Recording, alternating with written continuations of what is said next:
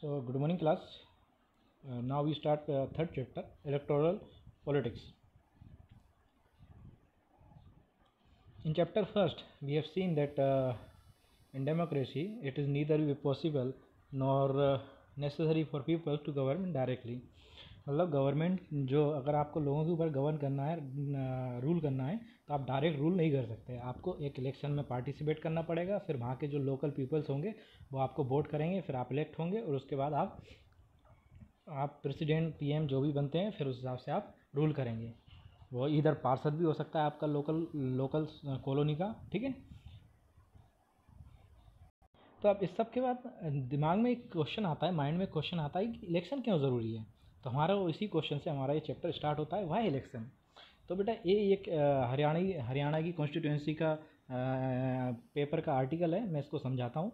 The paper the news paper report about the state assembly election in Haryana in 1987 तो हमारा जो पहला question है कि भाई इलेक्शन तो उसका इलेक्शन का जो बेसिक है वो शुरू होता है यहीं इससे समझाने से कि हरियाणा में किस तरीके का इलेक्शन हुआ. तो इसको बेसिक देखो बेटा। इलेक्शन क्यों ज़रूरी है? जैसे मान लो एक व्यक्ति है, वो आपके ऊपर रूल कर रहा है। अगर इसको इलेक्शन करके हर पाँच साल या फिर जो भी आपका टेन है, जैसे कि इंडिया में होता है, पाँच साल बाद आपका इलेक्शन होता है, उसमें इनको फिर से वोट दिए जाते हैं। अगर ये हार जाते हैं तो कोई दूसरा व्यक्ति इलेक्ट होता है। ठीक है?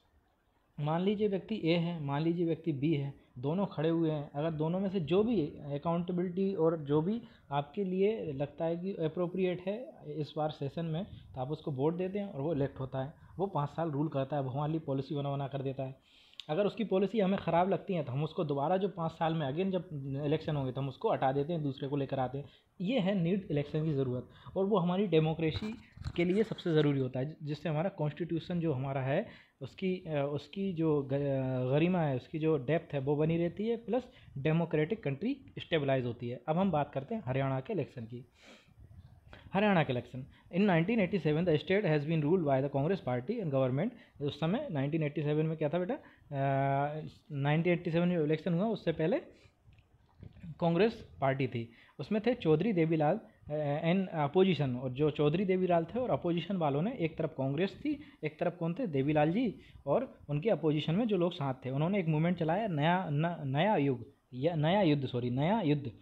And form a new party उन्होंने लोकदल क्या बनाया बेटा? लोक दल। क्या बनाया? लोक दल। लोक दल बनाया और उसमें फिर चुनाव लड़ा उन्होंने। फिर क्या करा उन्होंने? इलेक्शन लड़ा। और इलेक्शन का रिज़ल्ट क्या था बेटा? टोटल सेवेंटी सिक्स सीट उनके पास आई टोटल सीट थी नाइन्टी और उसमें से सिक्सटी सीट लोक दल की थी। किसकी थी? लोक दल की। और इस तरीके से देवीलाल जी क्या जीते? चुनाव जीते। और उन्होंने इस चुनाव को क्यों जीता था? क्यों जीता था? उन्होंने एक सर, उन्होंने एक प्रॉमिस किया था वहाँ की लोकल गवर्नमेंट से कि पीपल और एन एफ़ विद दैट एग्जिस्टिंग गवर्नमेंट वो एन थे। और उन्होंने बोला था ही promise that this would be the first action of government क्या? कि फॉर्मर और स्मॉल बिजनेसमैन फार्मर और स्मॉल बिजनेसमैन का जो लोन होगा उन्होंने जो लोन ले रखा है, वो हम माफ़ कर देंगे। और हुआ भी यही, वो जब इलेक्शन जीते और उन्होंने पाँच साल बाद पाँच साल के अंदर के ड्यूरेशन में उन्होंने वो जो लोन था फार्मर और छोटे बिजनेसमैन का, वो माफ़ करवा दिया, ठीक है? ये था गवर्नमेंट का, उस समय का कंट्रोल ठीक है? और ये ज़रूर, ये इन्होंने इनकी गवर्नमेंट ज़्यादा दिन तक नहीं चल पाई। As soon that he became the chief minister his government issued government order to waiving outstanding loan for small farmer and agriculture for labour society small business now the next election will held in 1991 but the time party did not win the popular support and then Congress won the election and form the government 1991 में दोबारा election हुए, पाँच साल में, और वो दोबारा से, वो इस बार हार गए और कांग्रेस दोबारा से आ गई। ये है इलेक्शन की ज़रूरत, ये है डेमोक्रेसी की ज़रूरत कि आप पहले कोई और व्यक्ति आपके पास रूल कर रहा था, अब कोई और रूल कर रहा है, फिर कोई और रूल करेगा। ज़रूरी ये ये जो चेंज है, ये जो चेंज है, ये पीपल्स द्वारा देखा जाता है, वहाँ के जनता द्वारा, वहाँ के लोकल पीपल्स के द्वारा देखा जाता है। वो ये देखते हैं कि ये व्यक्ति काम कर रहा है कि नहीं कर रहा, अगर ये काम कर रहा है तो दोबारा यही इलेक्ट हो जाएगा और नहीं कर रहा तो ये हट जाएगा। ये है इलेक्शन की ज़रूरत हमारे लिए, ठीक है? Now why do we need election हमें क्यों ज़रूरत है इलेक्शन की? तो बेटा सीधा सीधा मीनिंग है वाई वी नीड इलेक्शन क्योंकि हाँ election take place regularly in democracy democracy को मेंटेन करने के लिए इलेक्शन ज़रूरी है। There are more than one hundred countries in world which election take place in choose of people representative मतलब हाँ इलेक्शन होते हैं और पीपल्स रिप्रेजेंटेटिव चुनते हैं। But why do we need election क्यों ज़रूरी है? Let's try to imagine democracy without election ruler of peoples is possibly without an election if all the peoples can sit together every days and take the own decision मगर मान लीजिए आप election ना करें तो फिर क्या होगा? सभी लोग एक जगह बैठेंगे और अपने लिए एक सोसाइटी अपने लिए एक डिसीज़न तय करेंगे रोज़। लेकिन अगर आप इलेक्शन करके एक रिप्रेजेंटेटिव तय कर देते हैं तो वो आपके लिए डिसीज़न लेगा छोटे छोटे को और आप अपने काम कर सकते हैं। पहली चीज़ इलेक्शन की, ठीक है?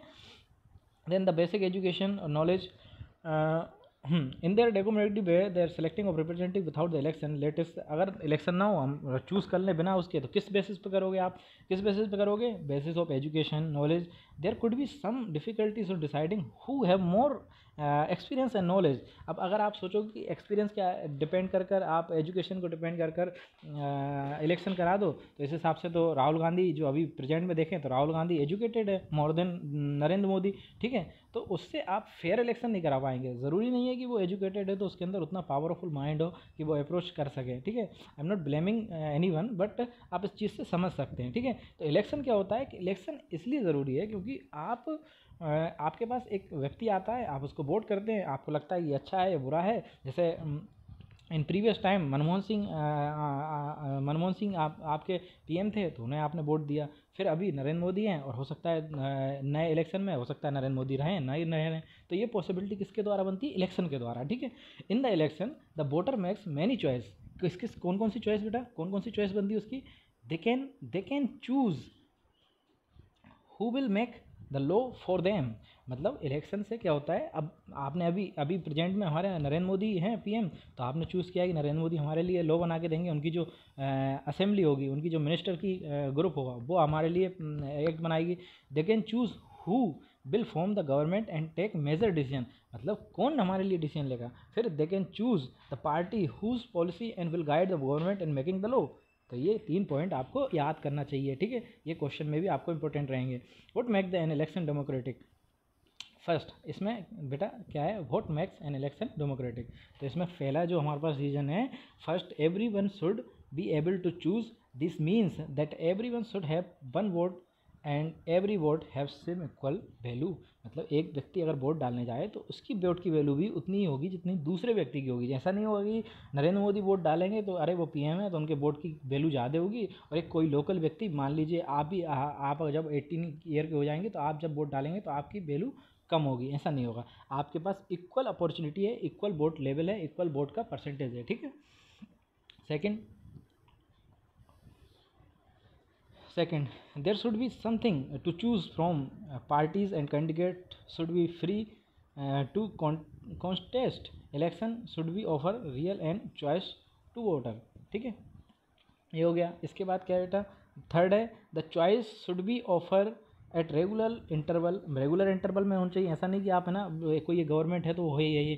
जैसे हमारे यहाँ पाँच साल में एवरी फाइव ईयर चुनाव होते हैं, ठीक है? इलेक्शन होते हैं, ठीक है? Fourth the candidate prefer by people should get elected जो जो व्यक्ति लोगों के द्वारा प्रेफर किया जाए, वो भी इलेक्ट होना चाहिए। Fifth election should be conducted in a fair and free manner where people can choose their really best जिसको आप लोग चाहते हैं, उसी को चूज़ करें, ठीक है? ये था आपका vote makes an election democratic, ठीक है?